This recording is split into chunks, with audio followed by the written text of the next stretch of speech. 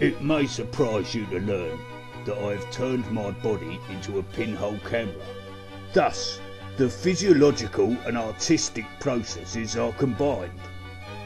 First, I swallowed a cocktail of light sensitive chemicals, and then a roll of photographic film.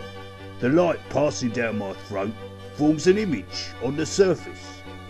My lower intestine acts as a darkroom in which the photographs are gradually processed and eventually, will pop out. Although I have had problems passing any enlargements I need. Have you considered widening your aperture?